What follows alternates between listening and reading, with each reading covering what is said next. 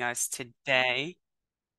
I thought you guys was being entertained by this amazing music playlist that I had. So I'm over here having a good time and I'm realizing none of you were joining in on the fun. So I apologize that you weren't able to hear the playlist. Um, but thank you uh, for for joining us and welcome to our annual Juneteenth presentation. Uh, today we have a fantastic guest. and we cannot wait to introduce him to you. Please note that we will have a special session from 1 to 1.30 for a more intimate Q&A with our speaker. However, don't forget to post your questions in the chat and our committee will manage to chat and share the questions with our speaker during our session. Additionally, uh, please don't forget to complete the evaluation at the end. Your feedback provides us with critical information needed to improve our professional development experience and provide uh, us with suggestions for future learning and engaging opportunities. We will make sure we share the link in the chat as well. I am Danielle Hairston Green. I'm the chairperson of the African American Black Employee Resource Group and the Institute Director for Human Development and Relations relationship with University of Wisconsin Madison Division of Extension. I want to take some time to reflect on the history of Juneteenth.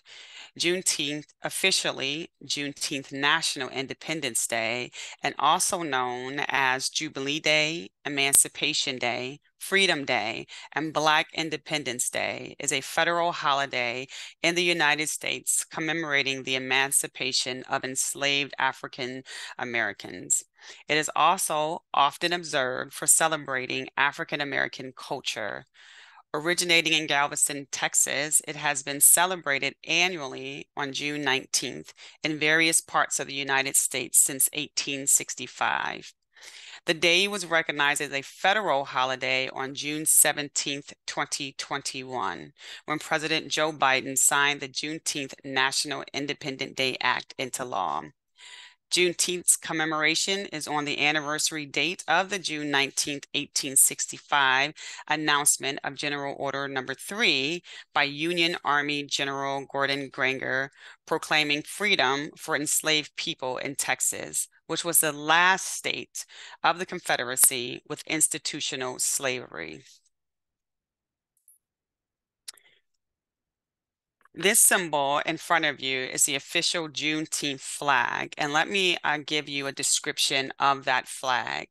The star, uh, the white star in the center of the flag has a dual meaning, Haith said. For one, it represents Texas, the Lone Star State. It was in Galveston in 1865 where Union soldiers informed the country's last remaining enslaved people that under the Emancipation Proclamation issued two years earlier, they were free. But the star also goes beyond Texas, representing the freedom of African Americans in all 50 states. The burst um, outline around the star is inspired by a nova, a term that astronomers use to mean a new star. On the Juneteenth flag, this represents a new beginning for the African Americans of Galveston and throughout the land. The curve that extends across the width of the flag represents a new horizon, the opportunities and promise that lay ahead for Black Americans. And the colors, red, white, and blue, are the colors of the Juneteenth flag, and they echo the iconic colors of the American flag. These three colors appear on the Juneteenth flag as a second declaration of independence. Black Americans, from the former slaves to their living descendants, were and are free Americans too. So while Juneteenth is a celebration of Black freedom, the holiday isn't just for the Black community. Juneteenth gives people an opportunity to reflect on what it means to live in a country and in communities that say we value individual rights, we value freedom, we value freedom of the press and freedom of speech. And if we value that, we need to value that for everybody. Please visit ABERG's SharePoint site and visit our calendar of events if you would like to read more about Juneteenth. So thank you again for sharing your lunch hour with the African American Black Employee Resource Group. ABERG's purpose is to serve as a resource for and foster current and future African American colleagues' success by sponsoring programming, providing collegial support, encouraging belonging, and raising a collective voice related to issues that impact employees' ability to thrive personally and professionally. And we love your feedback again um, so again, we will make sure that we provide a link to you. And before we uh, introduce our speaker and share his bio, I do want to acknowledge our committee member leadership. Rhonda Brown is our co-chair. Quintella Perry is our secretary for our new secretary and our new co-chair. Catherine Borg Smock is our new treasurer. James Bowling and Eva Terry are co-chair memberships and retention committee, and Carla Williams is the co-chair for marketing and media committee. We do have uh, pretty much a shared leadership role for our professional development committee, and that's with Jenny Abel, Erin Conway, Monica Lobenstein, and Heather Quackenboss.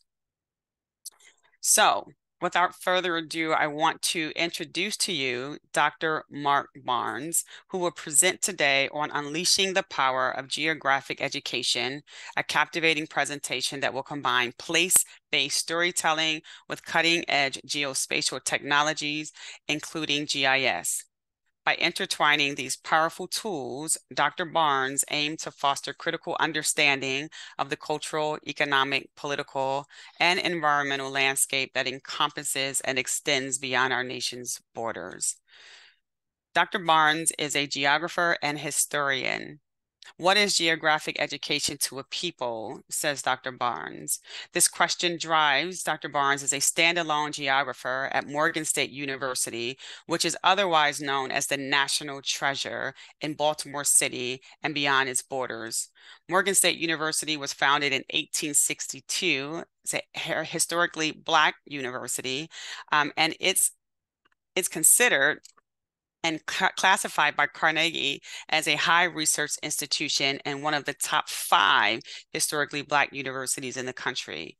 Dr. Barnes' research and teaching interests involve institutional decision making on weather hazards and disasters, institutional vulnerability, urban economic redevelopment, and geospatial innovation. Dr. Barnes' approach to geographic education and research elevates the idea that the heart requires just as much nourishment as the brain does for a person to develop themselves holistically to be of good service to the broader society. He enables greater environmental awareness as well as personal growth through a geography framework that honors the discovery of new ways to envision as well as visualize unfamiliar physical and social worlds for equitable stewardship, as well as familiar um, environments.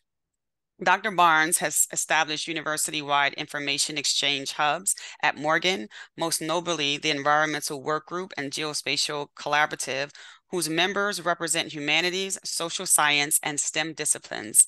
He is advisor to the Geographical People Society, a student-led organization whose mission is to use geospatial technologies that inform their peers about environmental matters of severe cause and consequence to those of African American descent.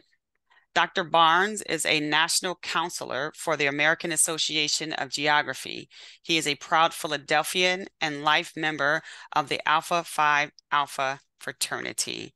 And without further ado, I would like to turn this over to Dr. Mark Barnes.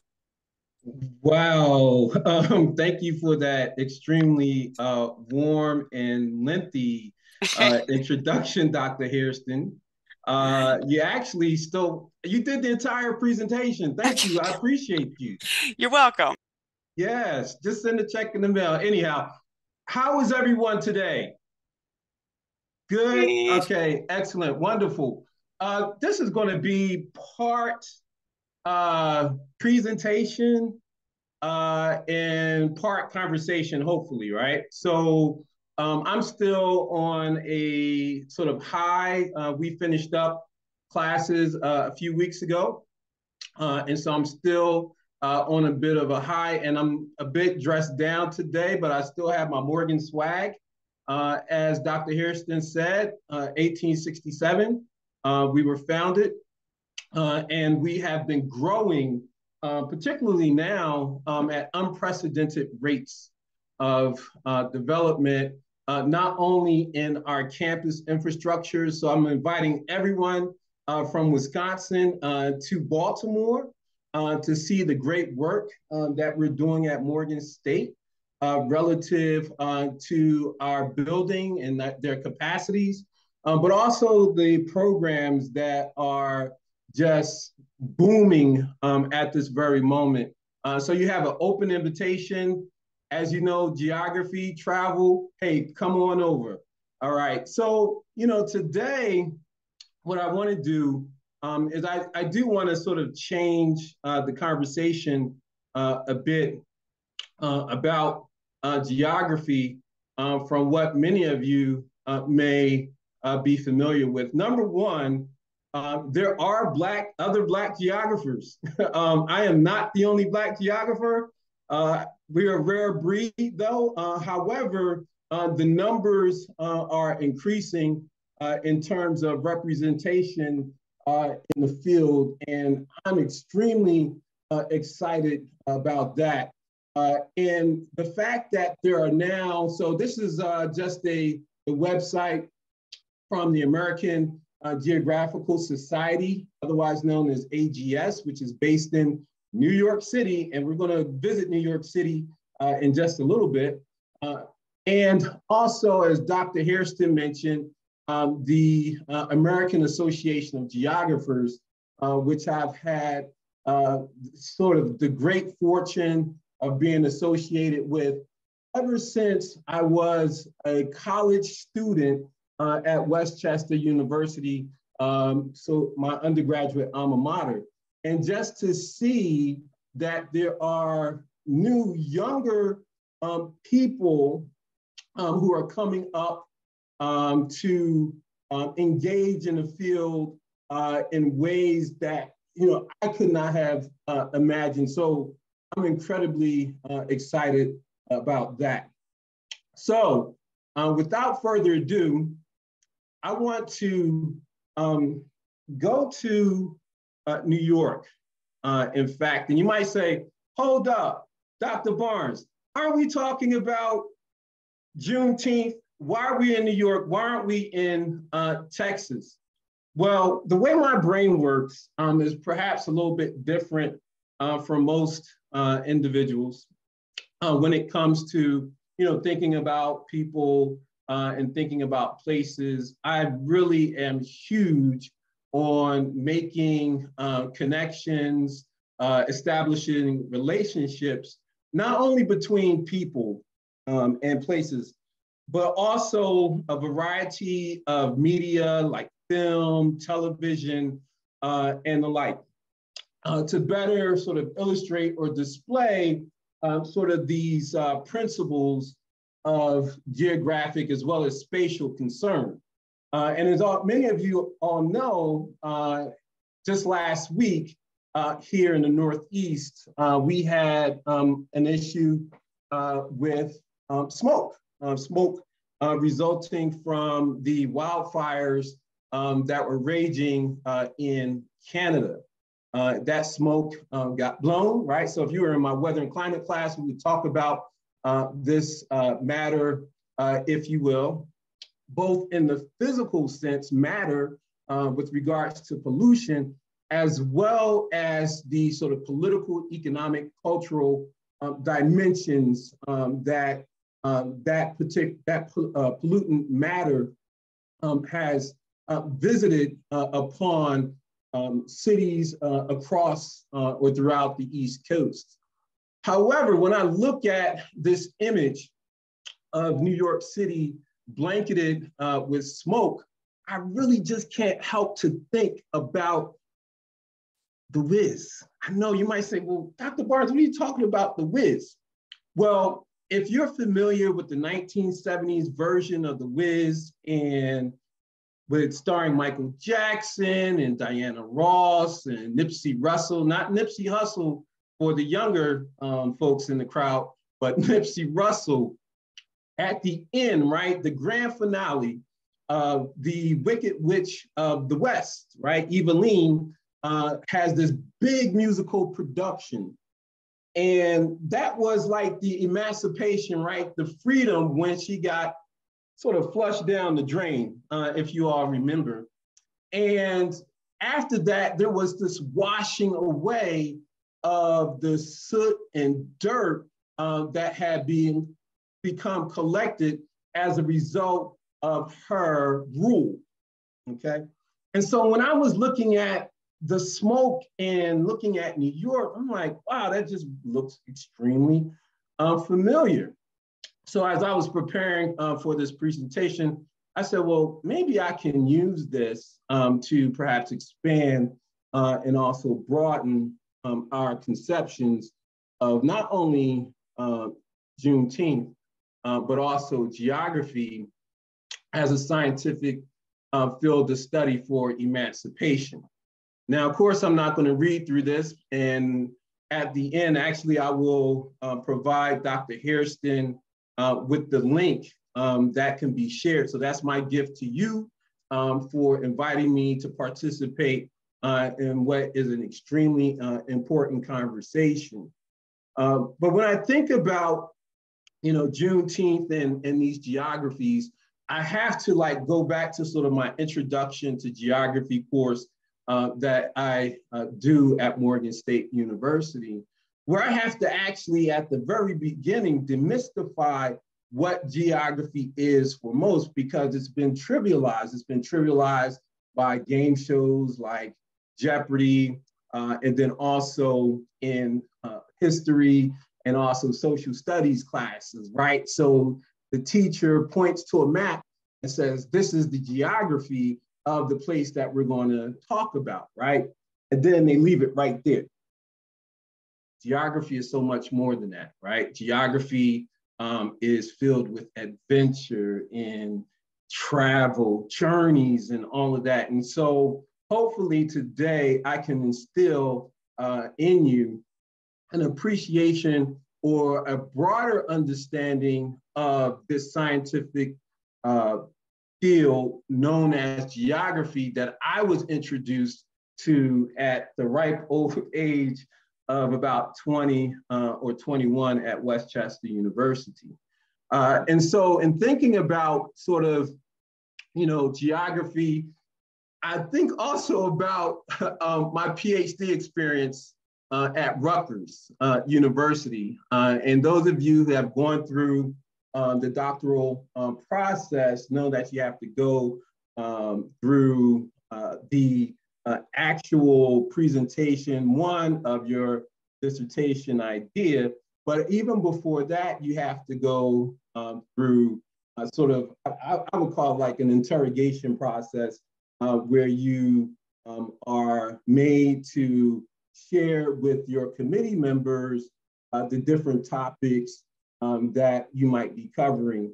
And one of the topics one of my committee uh, members gave me uh, during that period was um, the five themes of geography. And I had never known, I had gotten through a undergraduate program, a master's program in urban studies at Temple University, and then a doctoral program. And I was hit with this question of what are the five themes of geography? Okay. And in thinking about that, and I said, well, maybe I can use these five themes um, as a framework um, for enabling a conversation um, about sort of these different geographies. There are multiple geographies and certainly subfields, two branches of geography, both the human and also the physical branches that have sort of these subfields be they urban, economic, um, environmental, or otherwise. And those lenses allow for a visualization of actual site locations of um, Juneteenth um, expressions, uh, if you will, but also uh, situations that we can have a conversation uh, about. So thinking about that, right? in terms of these three, oh, I'm sorry, these five uh, themes of geography, place, location, um, human environment interaction, uh, and the like, you know, I think about place names and place names um, really actually have sort of a, um, I have a deep appreciation for place names, uh, certainly in my heart. Uh, because one of the questions uh, in my intro uh, to geography class, I, I do pose um, to students. And in fact, I don't even call them students anymore. Uh, to me, they are investigators and explorers. And that's for a really intentional purpose. Because I think when you call people students or you label them as students, that creates sort of this sort of passive learning. I want action, right? So I look to stimulate action. Um, investigators do things, explorers do things. Um, students, they just party, right? Uh, it hand in late work, all at the end of the semester. So I get them to reconceptualize and think about um, sort of their purpose, all right? And when I think about that, I also think about uh, Genesis 2:19, right? When Adam is naming all of the animals uh, in um, paradise, he's bestowed uh, with that gift, and that's an incredible amount of power, of power given to one individual.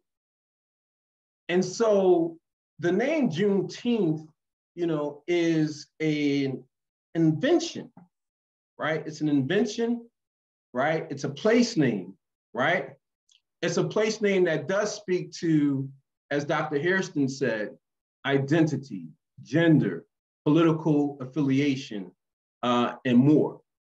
And when you think about this notion of names, right, the idea of naming, right, you know, there's great power in that, but also there's significant disempowerment, right? And that's captured uh, in the book. Geographers love everybody. We love economists, we love political scientists, historians, we like folks uh, over in psychology, we like folks over in uh, architecture and planning, engineering. We talk to everyone. Very few people talk to geographers, but that's okay because we like everything, right? So, taking from or borrowing from, rather, I don't take, we share. Thinking about Freakonomics, a book uh, written by um, an economist and also a journalist, we like them too. Uh, that book details a study that was conducted about naming, right?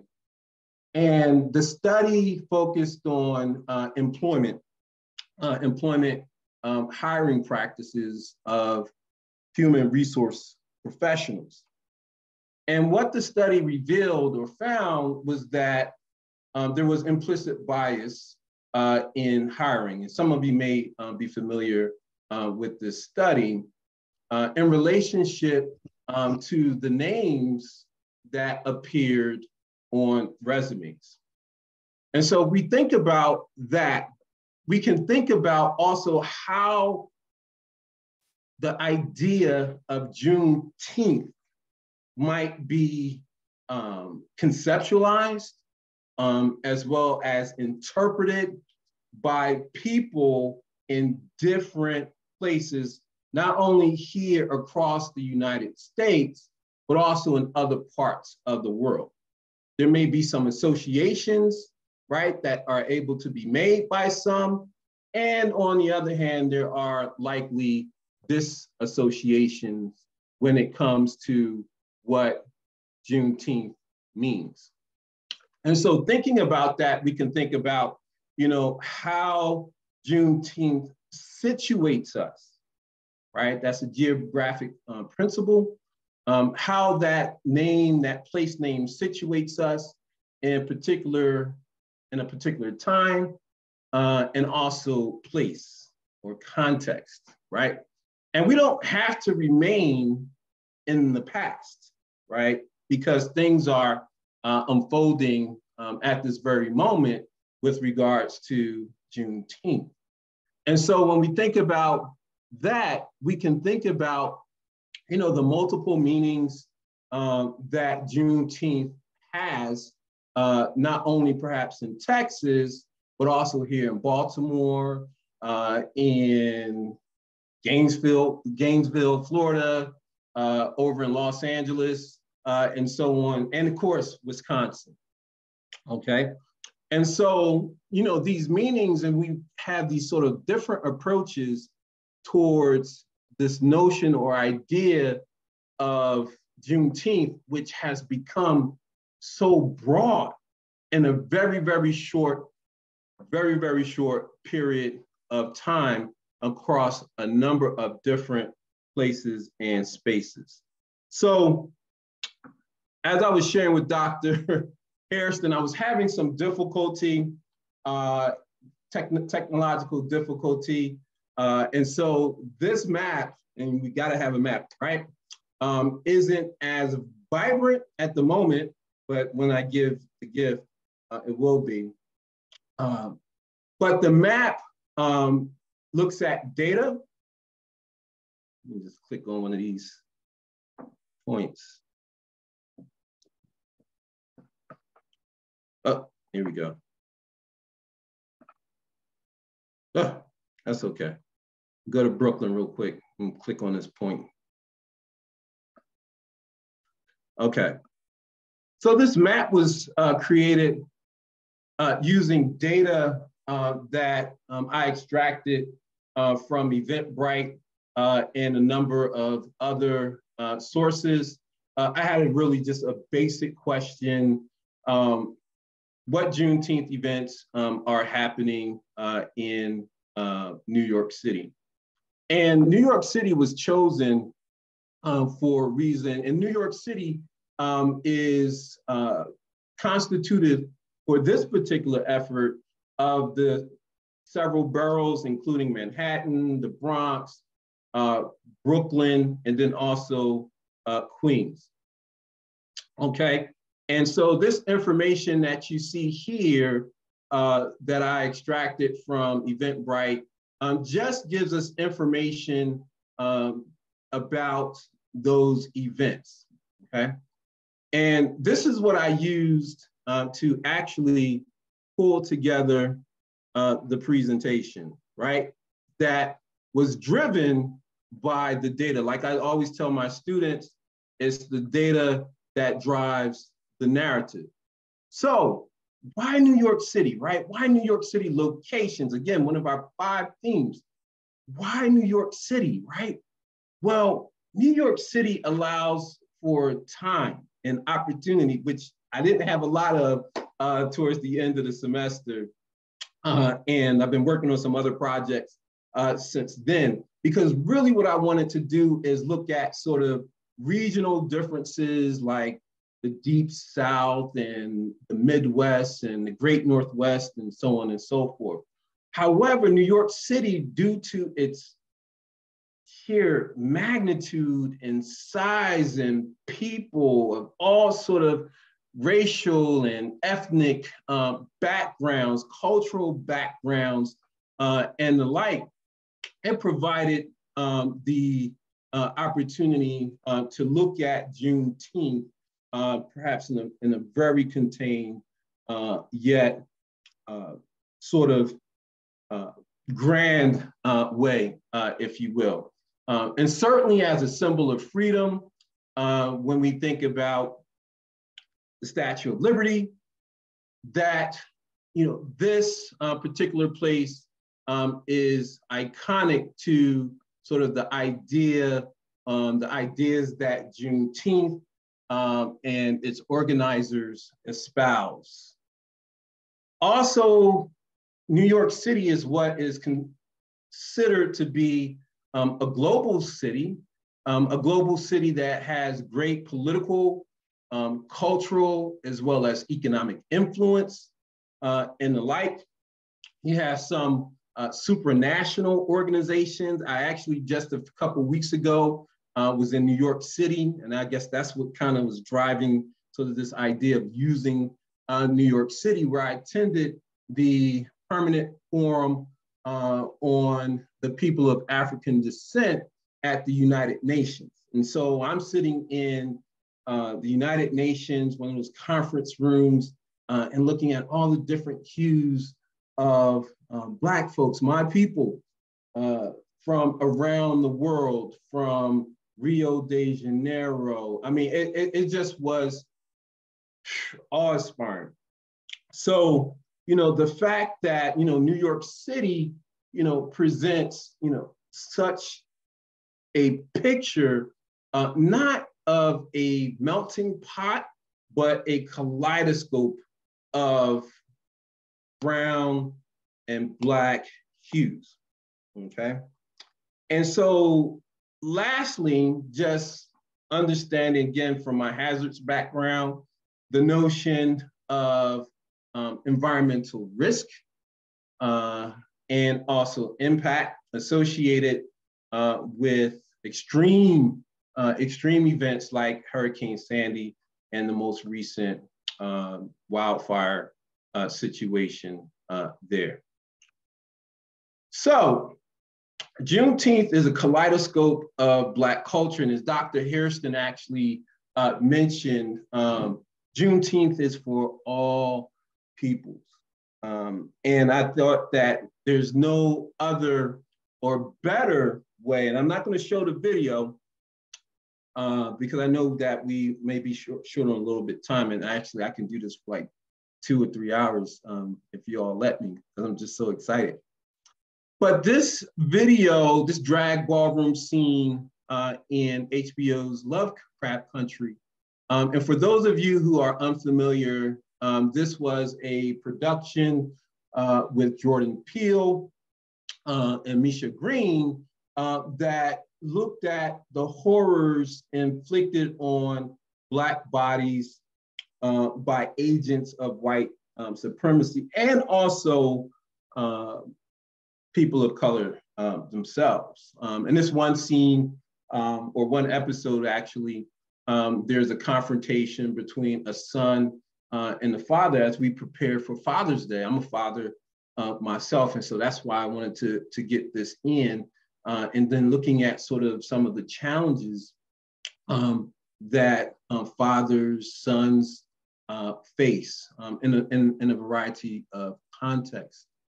But I wanted to also share this uh, with thinking about uh, Juneteenth um, as a means um, to like really think about the corporeal experience uh, that uh, many uh, have um, associated uh, with their emancipation, um, perhaps by others, or their emancipation so that they're self-driven emancipation. Um, geographers, and getting back to geography, because I'm going to keep coming back, because I think that's extremely important. Um, geographers are really concerned with the corporeal or the bodily um, experience, especially uh, when uh, we think uh, about uh, sort of feminist geographies uh, and the like. And so geography looks at sort of this broad, um, sort of human experience. It's not just concerned, well, actually, it's really not too concerned with um, the elevations of mountains or the depths of water bodies. And so thinking about sort of this notion of movement, bodily movement, whether it's restricted um, or is allowed, right? We see that in uh, many of the events. Also, in thinking about this notion of movement, um, or we can talk about diffusion, um, is the celebration of food culture that Juneteenth uh, provides. Uh, and some of you may be or may not be familiar. If you're not familiar, I will encourage you very strongly uh, to take a look at the Netflix um, documentary series uh, entitled High on the Hog, um, How African American Cuisine Transformed America. I was fixed. Um, I watched all of the episodes, the new season. I, am not sure if the new season, only two seasons. uh, came out. Um, but I was like transfixed on the uh, on, onto the to the TV screen. Why? Well, part of that um, series um, actually was located um, or focused and featured um, the birthplace of my mother. Um, she was from uh, lowland country, South Carolina, Geechee. Um, love rice, I love rice. They, they focused on uh, rice production uh, in Charleston, which is a huge industry, right? And so here's the economic geography part, right? And so in thinking about sort of Juneteenth, its celebration, uh, and also com commemoration and tribute to those, you know, whose, whose bodies um, toiled uh, in marshes and then also the sugarcane fields in Haiti and, and other places, you know, that, that movement, that, that sense of, um, or that idea or, or that dream of freedom that one day um, they uh, would be uh, free, um, extricated, if you will, um, from uh, servitude, um, permanent servitude. And so when I think about uh, Juneteenth, I think about, you know, my mother and, and all of those who um, came out of those uh, sort of food um, cultures and, and, and transported um, their dreams, their hopes. Uh, I think about even going back to uh, Lovecraft Country, where one character talked about sort of her dreams and hopes, you know, for the future, the future of her, her grandson um, and the things that she did to help bring about that future. And that's what Juneteenth um, truly um, is all about. Um, in addition to transporting other cultures like uh, music culture and the like, like jazz, which is a purely African American uh, invention, uh, of course. Uh, and then, of course, other sort of notable uh, tributes to movements right, to movement um, from film screenings and award galas uh, and the like. And so the neighborhood, right? And I'm taking this, this is a page out of my uh, new uh, introduction to geography course where I have students uh, go into neighborhoods here in Baltimore City um, and conduct explorations of built natural and social environment features. Why do I do that? Again, movement, right? Getting folks to um, explore and discover. And we can discover so much uh, about um, who we are, um, who we were, and who we are becoming actually uh, when we get into uh, neighborhood communities uh, with an eye towards discovering right? Not only discovering ourselves, but discovering others. And W.E.B. Du Bois, um, who's actually a hero of mine, um, who wrote uh, The Philadelphia Negro, a social study. Uh, you know, much of that work um, is predicated uh, on his uh, past achievements, especially thinking about the souls of Black folk thinking about the souls of Black folk when Du Bois talks about, you know, sort of that, that two-ness, right? You know, these warring ideals, if you will, between what it means to be American and what it means to be Black. And I think Juneteenth um, actually pushes the envelope uh, on um, that, that notion. And so thinking about even sort of these neighborhoods, right? Um, and all of their distinctiveness, um, they really just gives us a great opportunity, even when or after the Juneteenth celebrations are over. And I think that's what we have to really consider. It's not just about for a day, right? June 19th. And I know some organizers do activities um, based on uh, the study on, on the light research that I did um, for a week or so.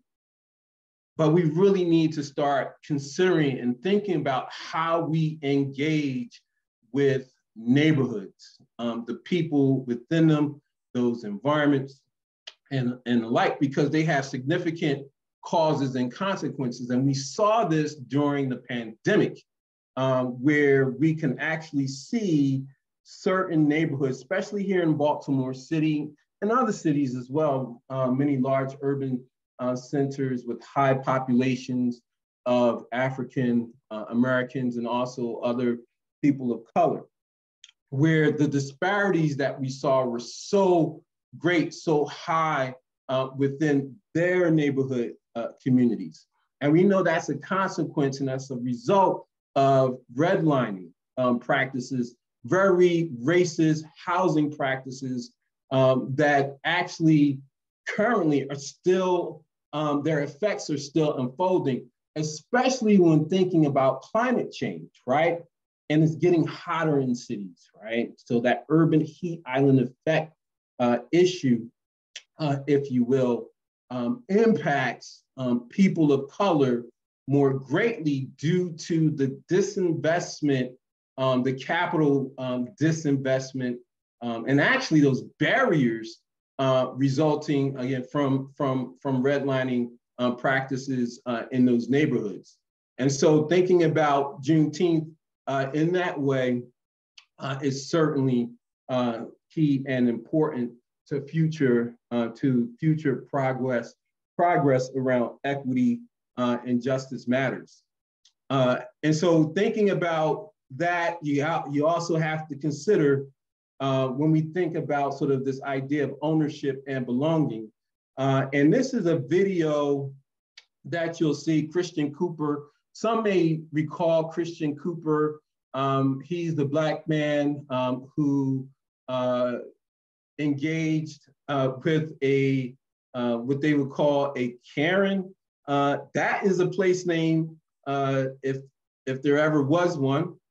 And thinking about sort of, you know, the idea of um, restricted movement, right, um, in neighborhoods, especially um, in natural uh, environments like um, parks and, and the like.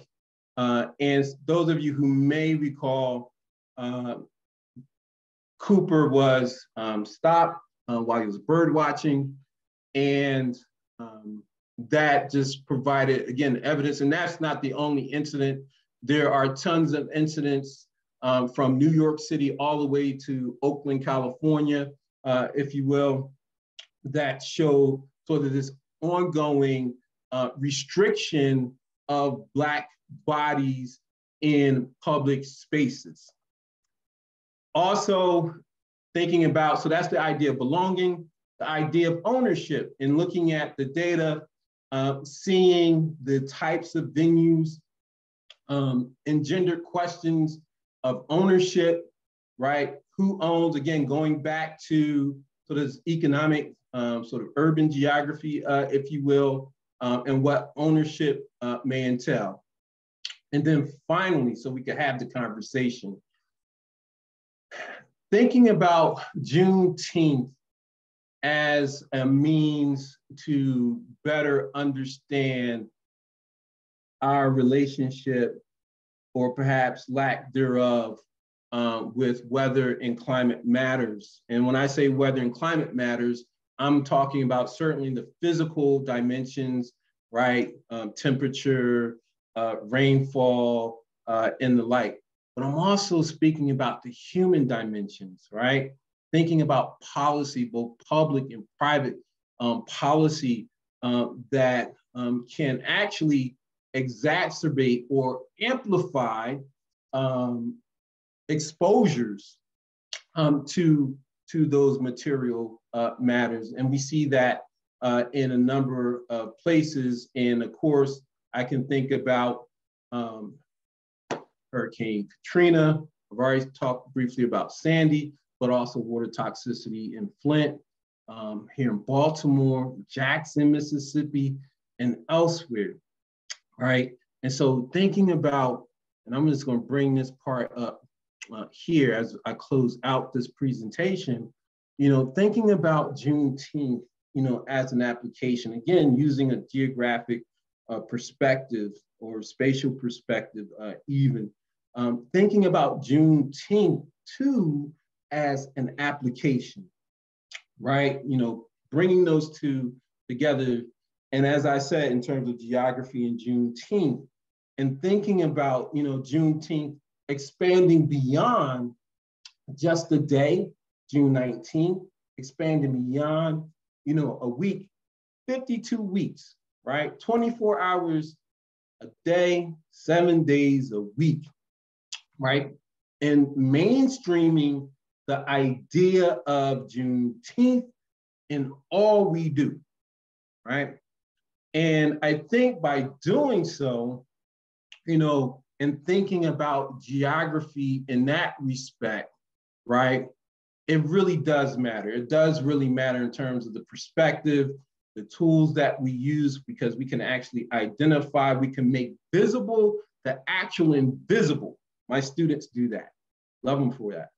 But the visible um, or the invisible, you know, sort of built natural and also social environment effects, right, that cause harm, particularly to African peoples, not just in New York City, not just in Baltimore City or in Madison, uh, Wisconsin, but around, around the globe.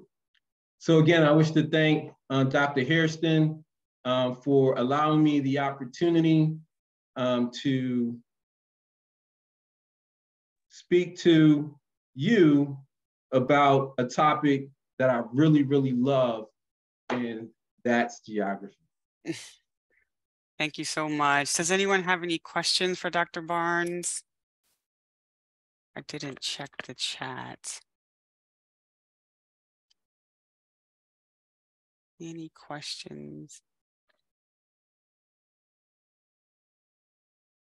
No questions. Um, again, as I mentioned at the top of the hour, there will be um, time um, at the closing of this uh, uh, space with uh, Dr. Barnes for you to have a more intimate Q&A with him. So if you chose to stay on um, beyond this uh, hour, um, this 12 to 1 um, time, you can, and we will chat it up with him uh, a little bit and be able to ask questions. So I'll scan the chats once again, just to make sure there's no questions. I do have one question I wanted to share, Dr. Barnes. Like, how do you get, you know, our, our young people to get excited about um, geography and placemaking and history and the way in which you shared it when so much in K through 12 especially had in terms of history, cultural identity has been muted and almost like, you know, watered down that's kind of shifting our young people's desire to even like what, what's the point when all of this information is coming to us so fast you know like how do we get them excited about like getting in and cha- telling their own, you know, narrative? Thanks for that question. Um, my response is you meet them where they are, mm-hmm, mm-hmm. right?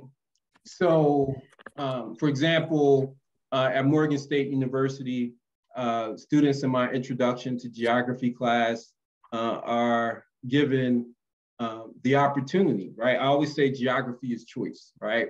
And so they can select um, a neighborhood uh, that they're most interested in, that appeals to them.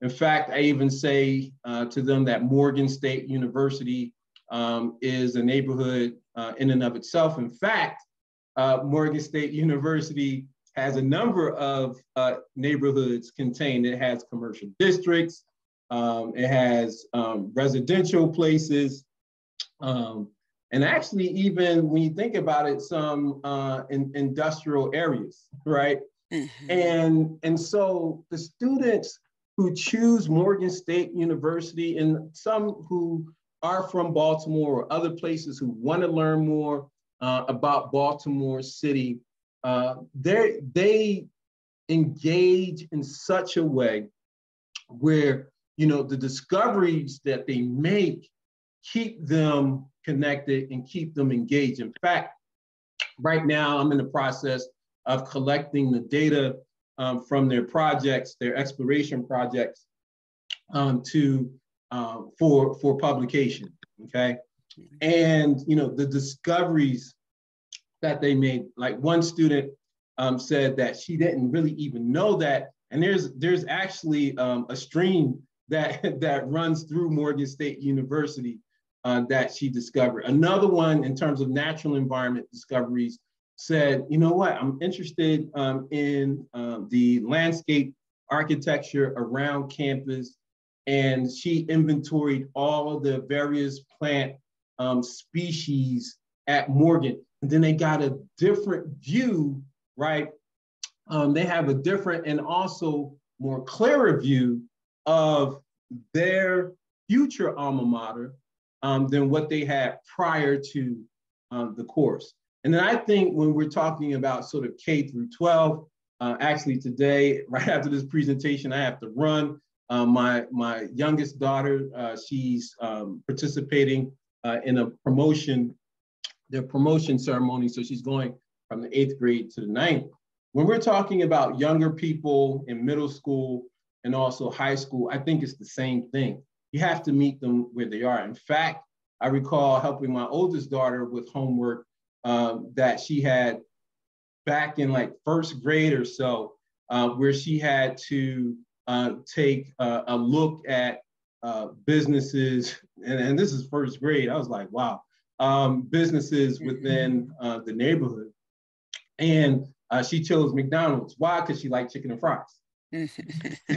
she like she like chicken nuggets and fries, right? So that's what she connected to. You have to meet people where they are. In fact, as I mentioned, I don't even call students students. I call them investigators, also explorers. I don't even really talk about geography. Um, I don't even use the word. Why? Because geography eh, is not that sexy. Mm-hmm. In fact, again, place name, and where we place, you know, a, a term like geography, right? Mm-hmm. And I mentioned that earlier. In fact, geospatial is a much sexier term. Mm-hmm. You know, folks say, oh, geospatial, what's that, right? Technology, but, but guess what? It was all, it all developed out of the field of geography, mm-hmm. right? And so when we're talking about geography, I rarely use the word just like in terms of climate change during my dissertation work. When I went in um, that focused on uh, transportation uh, or transit management under extreme weather um, and also climate stress, uh, when I spoke to the folks, uh, so I, my, my site study was Philadelphia, and um, I interviewed uh, managers uh, at the Southeastern um, Pennsylvania Transportation Authority. And the first day when I walked in talking about climate change, they, they shut down. They didn't want to talk about climate change. However, um, it's called SEPTA acronym. Um, they were really quick to talk about how heavy snowfall, the frequency of heavy snowfall events, um, the um, heat related impacts to their equipment and infrastructure, all of those things, right? They have been impacted by, right? And this goes back to that sort of that economic geography and where their investments um, uh, were taking a hit across the system across the Southeastern Pennsylvania Transportation Authority. Um, uh, I'm sorry, across um, Southeastern Pennsylvania from Philadelphia and also its outlying uh, suburban uh, areas. They could talk about that, but climate change, because it's so politically charged, that's not something they, they, they wanted to or perhaps felt that they could, could, could talk about. But they talked a great deal about those impacts. Mm-hmm. Thank you for sharing that. Any other questions? Let me see. Okay. Well, I don't see any questions coming up, so I will just take this time just to kind of reflect on what we were talking about today and, and close us out. So thank you, Dr. Barnes, um, for spending this time with us uh, this this morning, this afternoon. Um, and you know, one of the things that uh, stuck out, like in this last portion of your conversation, is bringing sexy back to geography. So that's what you know. We're going to focus on how can we bring sexy back uh, to to uh, this whole idea idea around geography um, and, and getting our young people interested. Um, on behalf of ABERG and our colleagues, friends and partners of the Division of Extension, we hope we can call upon you to continue to engage us in meaningful dialogue. And I just want our colleagues that are logged in and our friends from all over the country that's logged in to remember um, a couple pearls that I would like to share with you. Um, one of the things that I gathered from your talk was that placemaking is really about the people. Um, although that there may be buildings and streets and natural amenities, um, the people are what make a place feel special um, and different. Um, and then thinking geographically is especially um, important to, to, to individuals of color and particularly um, African American uh, individuals. And so we want to keep that in mind when we're talking about geography and placemaking. Um, and then getting um, getting our kids to get excited about history and geography and culture and its intersection um, is to meet them where they are, and uh, that's critically important to kind of start to grow that list of amazing geographers that you shared with us earlier um, today. So I want to thank you for sharing that information and sharing um, those pearls. As a reminder, oh, go ahead, Dr. Barnes. Oh, you're, okay, go ahead. For the audience here, Mhm. um, geography, as I said earlier, is intertwined. There's nothing that you all do, Mhm. right? You, you don't do anything in a vacuum. Space, place, location even with the University of Madison and something we're gonna, in the next few weeks, um, pursue is how do you, the question is, how do you manage operations? How do you manage facilities, right? How do you manage programs across the university? You have to have an understanding of place. You have to have an understanding of space as well as location. So geography is not something that's divorced from you, mm-hmm. right? It's you live with it every day. You just don't know it. mm-hmm. And and and so my thing is to bring the geographer that's already in you out. Right? Mm-hmm. You think this way every day. As soon as you wake up, I'm going to get to work because you might there might be a traffic accident mm-hmm. and you got to take another route, right? Um, even thinking in travel uh, all, all, every day. And, and I know I said in terms of maps, um, you probably saw a map at least five times already today. And certainly during the pandemic with John Hopkins dashboard, you saw the numbers of affected persons from COVID, and you saw the number of inoculations and all that, guess what? It was put on the map. So geography is not something, how, how, how do I put this? Geography is where you where you are every day, every minute, every second of the day.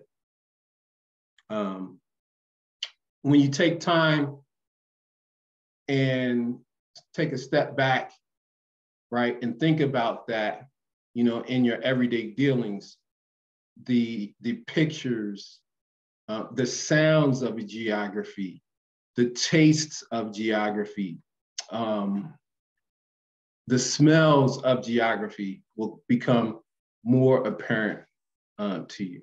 So I just wanted to share that with the audience. Thank you for sharing that. I appreciate that.